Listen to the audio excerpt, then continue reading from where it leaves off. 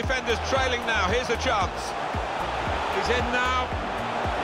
And there it is!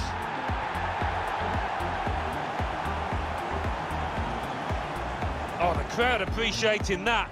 And so are his teammates. What a good finish and what a good ball through to him.